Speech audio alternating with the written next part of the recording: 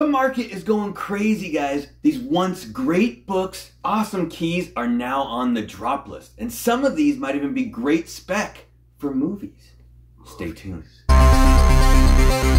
Welcome back, gamers, to another incredible, exciting, fantastic episode of Comic Gains. Ah. If you're new to the show, I'm Adam. I'm Zach, and this is Princess of Royal Highness, looking very lovely, just like usual, doing that princess wave. You do it too. Bow down, respect, and of course, there's a Coco. Oh, Coco made the show. All right, guys, we are back on this awesome Monday where we are going to report on this week's biggest drop books in the comic universe, as it may be. Think there's Mm. comics on other planets? If there's other, if there's life on the planet, They might have comics. They might have comics. Did you know the first comic ever made was a cave painting? A Yeah. cave painting? Yeah, they were fighting dinosaurs and saber-toothed tigers and all you that fun stuff. There you go. Or you know, But what do we do on every Monday, guys? The Comic Gains crew gets together. We scour the internet for trending hot lists, any kind of speculation list from one year ago. And we look at the reasons why these books were hot. And we fast forward to a year later and find out why they're not now and how far they've gone down in price. Whether or not you should be maybe thinking about picking this book up, or Zach will let you know you should never have thought of this book to begin with. And if you stay to the very end of the show, the slab master of the Comic Gains crew, Coco, will let you know which book you should. I mean, Zach will let you know which book you we should look be. so much alike. you should it's be hard- picking up. Oh, and you will only hear it here first. All right, guys. Jacob, but my Before we get into any of that, we need to wet our palate for some new information, or cleanse our palate. Wet our palate. a wet, the wet the palate. And I'm gonna whip my palate with this thing called T Java. I thought it was called something else, but that's Tiaba. T Java. Tea Java. No, Maybe the J is silent. Tiaba. Tiaba. No, I like tea java. Anyways, uh, unsweetened tea. It's lemon black tea. Has zero calories, zero sweetener, and zero brains. Anyways, it tastes zero. zero. It doesn't It's a good like mixture anything. though. Lemon and black tea. Yeah. Like two teas that normally aren't together, but Yeah, I've never. I well wanted to try this, but I never bought it to this day. better over ice. You drinking it cold at least? It's like no flavor. It has literally zero flavor. It's like a slight, like little drop of lemon, but you kind of taste the black tea. It's yeah, definitely probably would be better over ice. Is it at least cold? No, You're drinking at warm temperature? It's lukewarm. That is ridiculous. That is ridiculous. You know what's kind. not ridiculous though? Hanging out with us That's on on Whatnot Whatnot. every Saturday, 3 p.m. Pacific Standard Time. You get to hang out with Adam and Zach first. We'll warm you up. We got the best deals on Whatnot. Dollar stars, 30 second auctions, all keys. If you mm-hmm. stay up a little bit later, you get to hang out with the princess, her very own show. She does all the talking. Me and Zach are just kind of in the background drinking. And she has the best mystery pulls on whatnot. Also, dollar starts 30 second auctions. Some of the best looking variants you can find. Oh yeah, Real variants, Sexy. not those fake ones. All right, let's get into some real comics, some real drop lists this week. All right, let's start it off on the list. We got number five, Marvel Preview, issue number hmm. 28, 1976. And we actually don't have a lot of the books on this list this week. Surprisingly enough, I don't know if that's a good thing or a bad thing, but Nick Cardy, Bill Mantlo, I believe this is a repeat offender on the drop list, so hasn't dropped too much. But if you're wondering what this book is, it's first team appearance of the Legion of Monsters, and that consists of Ghost Rider, Man Thing, Morbius, and Werewolf by Night. And uh, you know, this book has always been kind of a little bit of a surprise to me as a collector why it's so expensive. I mean, it's a cool book. You know, Legion of Monsters has been a thing that's been going on, you know, obviously since 1976. It's still going on even to this day. But, you know, it's not like a super old book. It's not Silver Age. I feel like anything that's like a Ghost Rider key tends to be more expensive than other books for some reason. For some weird reason, maybe not a lot of people were buying this book back in 1976. Those, you know, Premiere, Spotlight, those kind of Yeah. like offshoot ones. Maybe that's why it's a little bit expensive. I'm not quite sure. Zach will probably let you know more with with the graded numbers. That's probably why it's more expensive. But um, this this book got hot last year because of all the speculation. Basically, all of these characters have been introduced in some form or fashion in the silver screen, the big screen, the big Mhm. screen, the big screen. We've seen them all. Some positive, some not. Mhm. You know what I mean? Werewolf by Night was obviously really cool. We got to see Man Thing in the same TV show was also really cool. Morbius left something to desire, uh, which I don't know. Now with Sony and them, I don't know if we're gonna see that crossover together. And then Ghost Rider is obviously inevitable. Is it gonna be Nick Cage again in Deadpool three? I don't know. Are we gonna see all four of them together? I would probably guess not. I just don't see how that would work out. You know, if Right. It's gonna if it's gonna be, but you never know. I think this will always be a pretty expensive book, and Zach will probably let you know better on the numbers. So Right. A year ago it was the Monster Mash. For a CGC 9.6 was 1,175. Now it just crashed. Not that much though. 1,050. Nothing crazy there. 788 was the low over a year period, and 1,175 was the high. Average sale was $1,003. It's an 11% drop for a 9.6. In a 9.8, it was oh on oh also for the nine six just up till like a, like a week ago, uh, the last sale was 788. It would have been a more massive of a drop if we would have done it one week in the past. But something would have happened. Something happened. Must something must have happened. little outlier purchase, yeah. yeah, Yeah. like well, actually, two back to back was like a thousand something, or no, no. Anyways, you- anyways, it was a thousand fifty last sale, and something happened. Some kind of like people got a stick up their butt, or maybe they heard something, Or so they remove went the stick. or remove the stick, and you know the book jumped up in price by three hundred dollars, basically. Okay, and for nine point eight, last sale for nine point eight was four thousand and fifty dollars, four times the amount of a nine point six. So that's pretty unheard of. Usually, it's about double the price of what a nine six is. So when it's four times, that's very interesting. And here's some CGC census numbers that might explain that. There's 1,750 total graded. Only 35 of them are 9.8. So it's 2% of total graded. And that might, yeah, 2% is the best part. and that might explain why the 9.8 commands such a high higher value than the 9.6. Uh, this book's pretty decent. It's pretty cool. Great cover. Great cover. Very iconic cover. That's one of the things I kind of go by a little bit for a book that's gonna last. Like you always remember that cover. You always remember a AF-15 because it's very iconic. You want to look at that and the key appearance. Those two things will kind of make the book last longer or spike up for longer periods of time. So yeah, it's a great book. Uh, it's a little high price right now for a 9.6.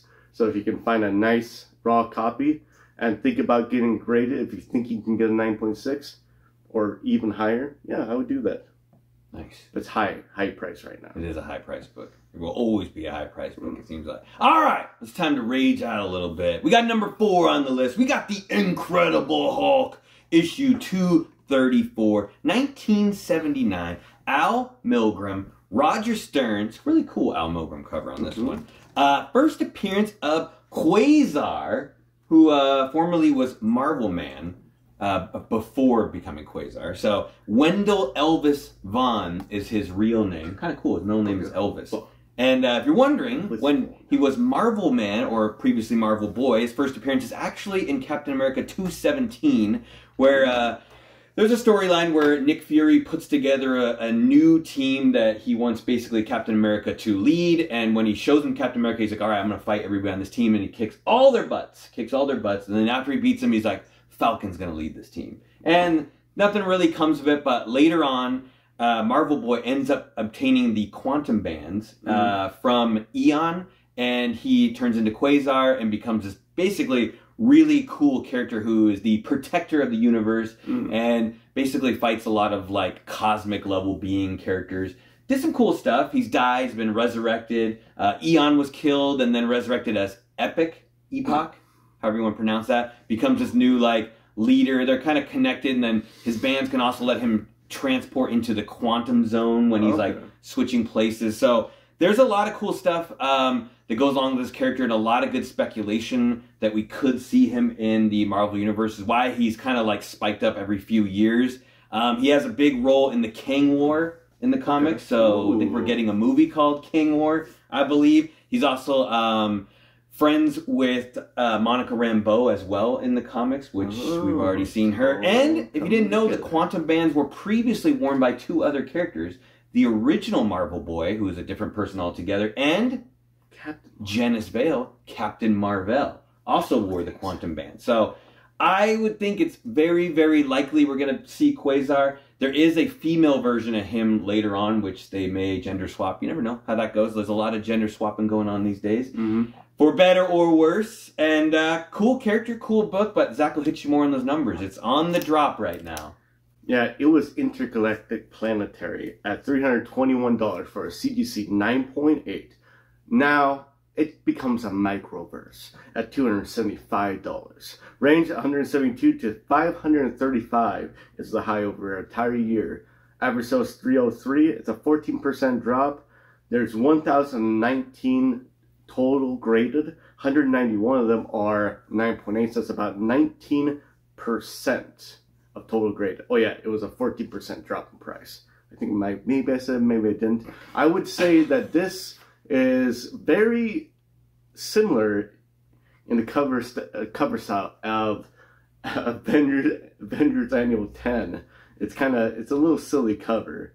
Uh, not quite iconic like I was saying about the last book we were talking about, but it has a significant appearance, so that will help it out.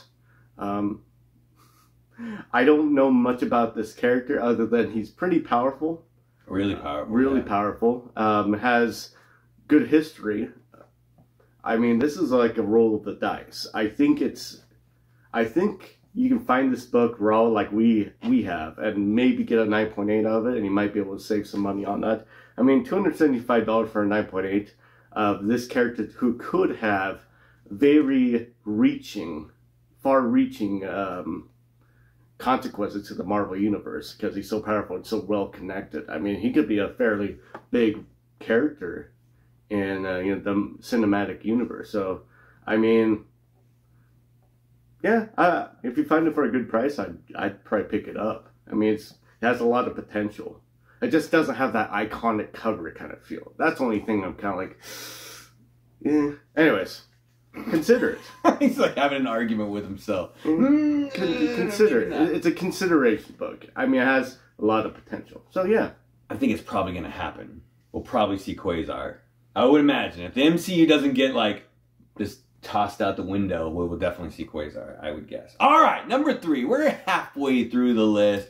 This is the big spec book of the day. X Men Annual issue number 14, the most controversial book in comics, 1990, Arthur Adams, Chris Claremont.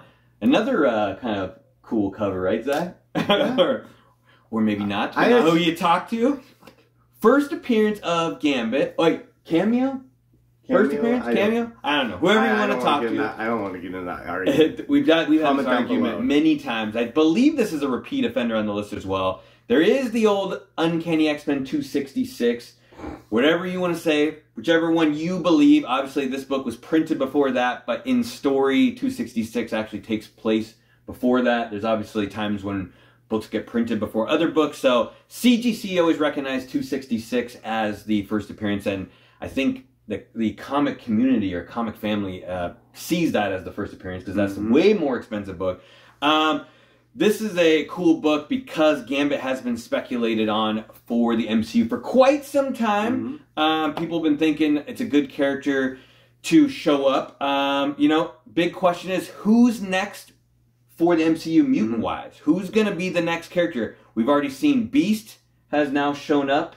We've already got Chuck, uh, Professor Xavier, Kamala, and is Gambit next? Do you think Gambit's going to be next? There's a lot of speculation that uh, Channing Tatum may show up in the Deadpool 3 movie. He's been wanting to, I think he's actually wanted to play this character like three or four years ago. Zach's dancing to invisible music in his head right now. It's Magic Mike.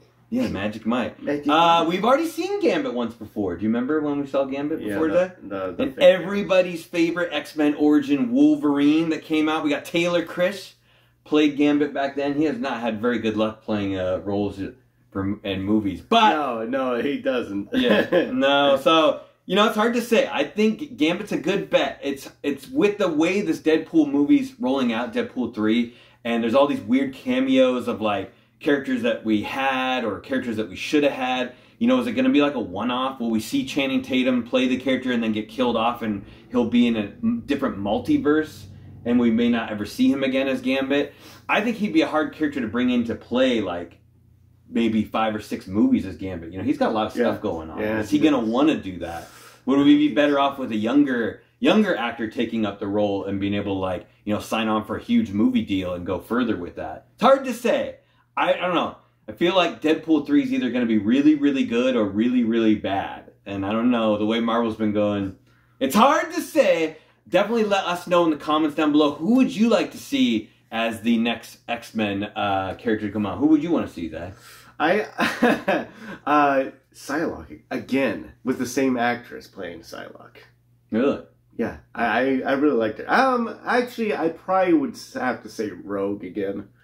Oh man, all of them, all the ones I want to see have already been You shown. just But want like, to see like the hot girls. I just want to see the hot. doesn't matter the girls. good We stories. saw. Doesn't matter. We could see the hot girl with a crappy story. Oh, oh, Hope Summers. Oh, there you go. That makes sense. Don't don't do hope. No Oh, hope. No hope. there's no hope. Yeah, no hope. All right. Number time. All This right. book has gotten cheap, guys. Cheap. You're, they were they were throwing aces a year ago because CGC 9.8 was selling for three hundred dollars.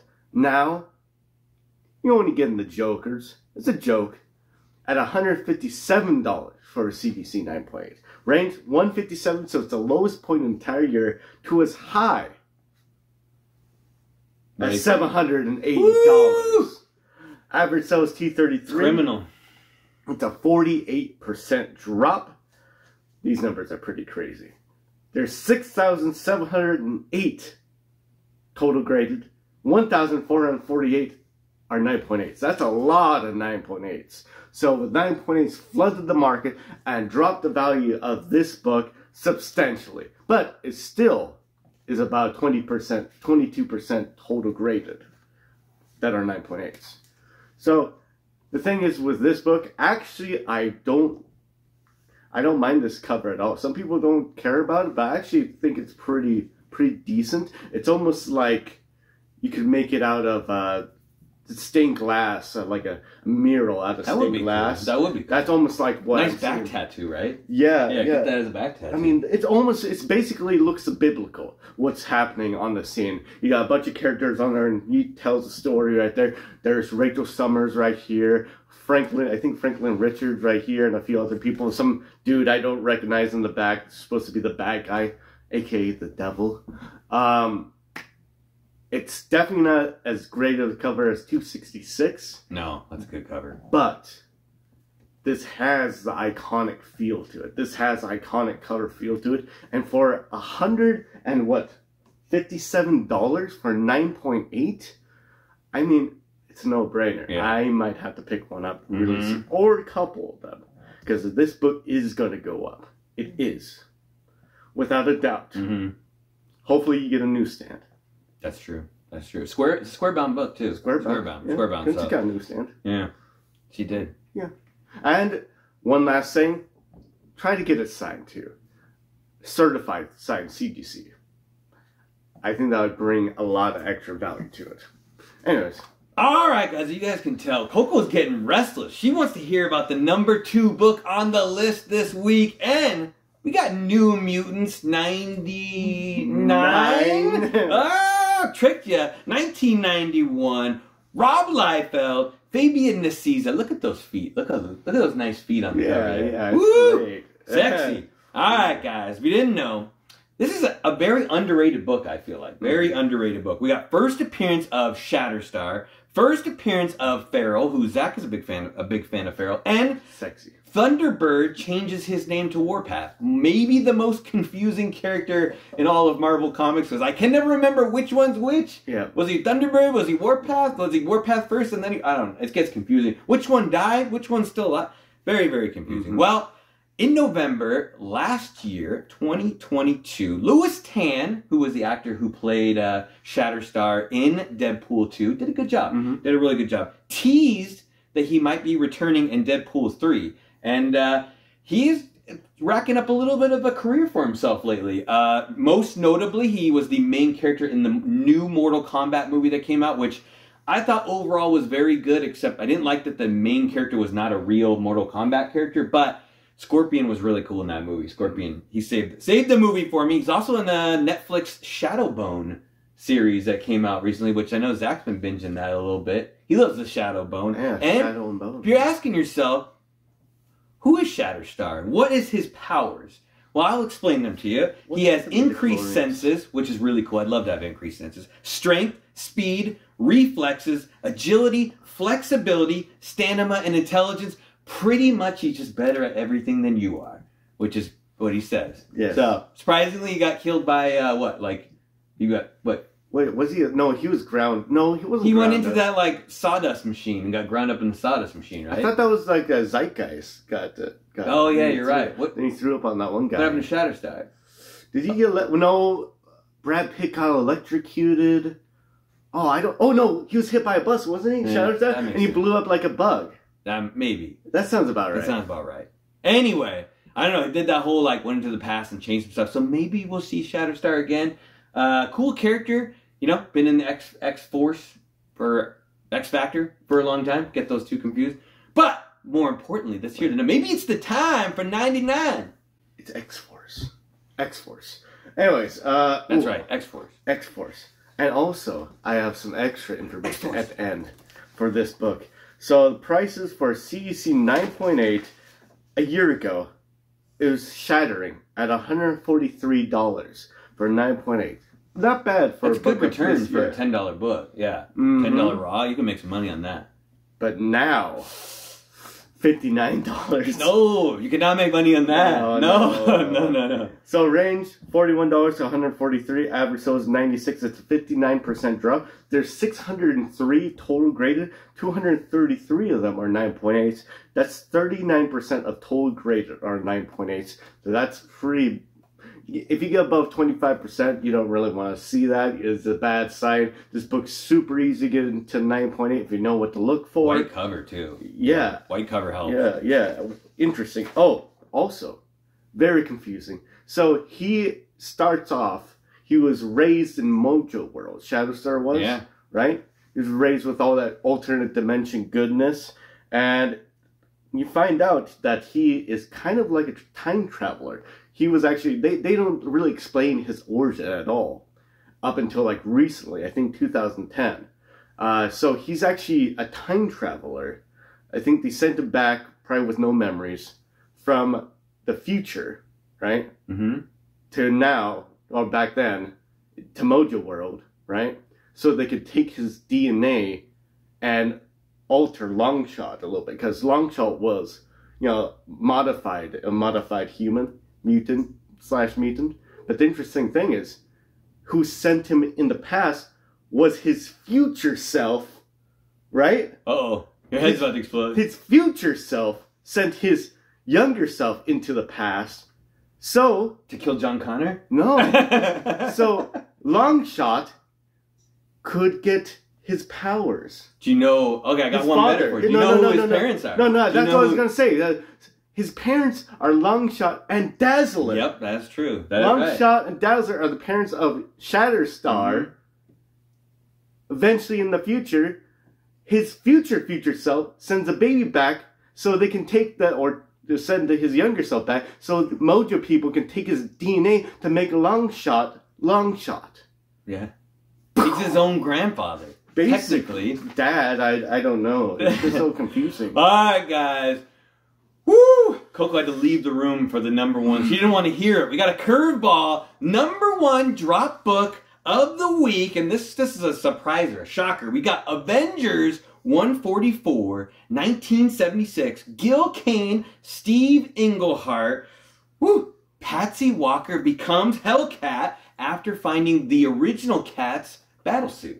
So, Patsy Walker, crazy character. I think she's one of the oldest, if not the oldest Marvel character, right?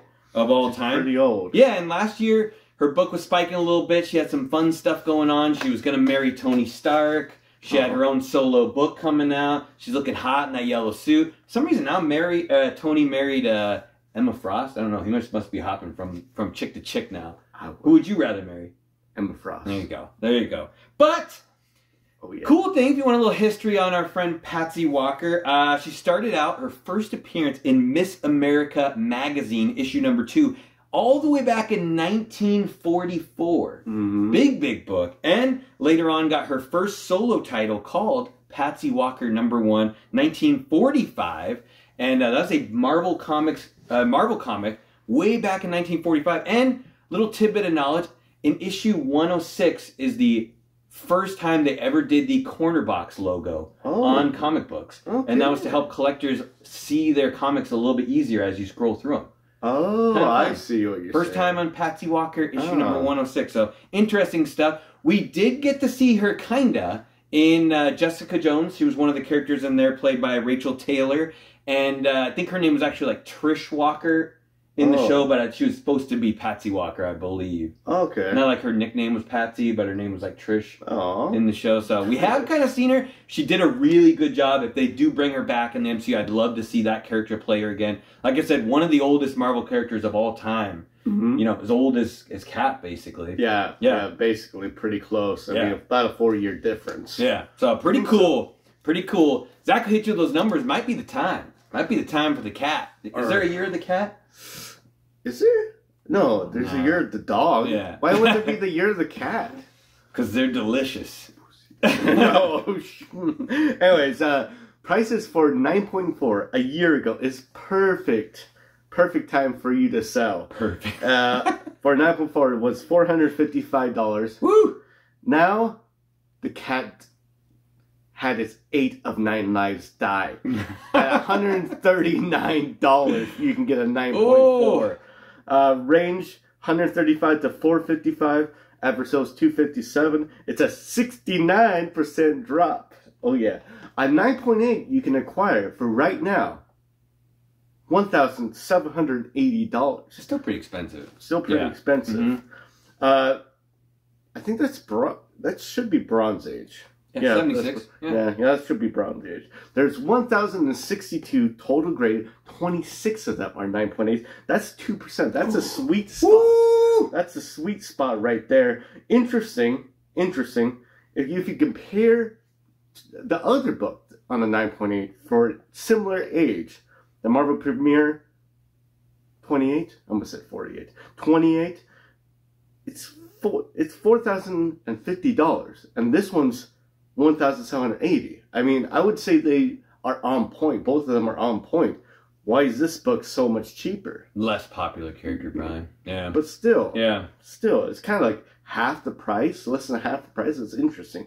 So, yes, this book kind of on the table for a 9.8, but 9.4, it is a very nice cover and it's very attainable for a book of this that could be of a high stature. This could be like equivalent of Elektra, Bullseye, or any other villain. I should say hero, but anyways, villain. You know, kind of comparison of what the prices could be. Uh, I don't have the numbers off the top of my head, but it's much higher than this book. Uh, it's a great cover. Is it iconic? I don't know, but it's a lovely cover. I actually Mhm. never looked at it that Really much nice. before. Really nice. Yeah, it's a very nice cover. Yeah, yeah. I would consider it, especially at that price for a 9.4. Crazy, crazy Mhm. deal. Mm-hmm. All right. All right, pick of the week, guys. You ready? The Slab Master is about to smash down some knowledge. X Men Annual 14. X Men Annual 14. It's a steal of a deal. I think I think that's the bargain price Yeah, and the number one price you should pick up off this list. I think we should all go get one I- right after the show's over. A strong second, of course, is Avengers 144. I just want to say that. That's a great book. But I think the X Men Annual 14, I think it's a winner right there. It's a wiener. Mm-hmm. Big wiener. Yeah, there was a time when you could Raws were like hundred bucks, so you Yeah. can get a nine eight for like hundred and fifty. 150. Cost you twenty five to get it graded. It's ridiculous. Who did the cover? Arthur Adams. Yeah, you get Arthur Adams. Yeah, don't forget he'll date it too when you sign it. He'll- He'll date it. He'll date it. He'll date it. I don't know if I like that or not. Yeah, I, I don't mind It it. adds like to at least let you know better that it's legit because you can like pinpoint where like where he was at on that date, so you can be like officially he was at a con, so more than likely he signed it.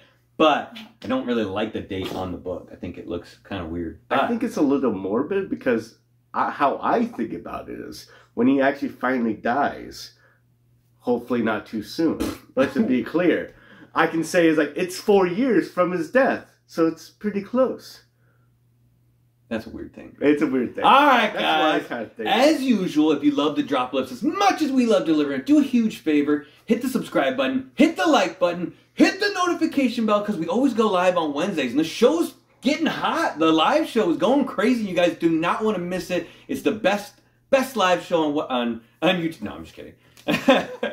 So. But so. leave a comment down below. We'd love to hear who's your next mutant in the MCU. Who do you want to see first? And even give us like a little story, what you think should happen, how they should appear. And Zach, anything else? Yeah, you gotta share. How you do that is you can pick your friends. You can pick your nose. Oh. You can pick your bank. But you can't pick your friend's nose bank. I think I missed something in there. Anyways, pick pick what you like wisely, guys. But don't pick it for anybody else. That's Does it make sense? Yeah, that's Yeah? true. I can see Does that. it? I can see that. Yeah, I succeeded. Collect what you like. Collect what you like. That's it. That's Don't listen to the naysayers, except for us. These are the three people and Coco that you want to listen to. You have to trust. We will guide you down your path. No, I'm just kidding. Do whatever you want. All right, guys. Until we see you next time, stay safe and remember. comic financial gurus. Get those gains! Every single one.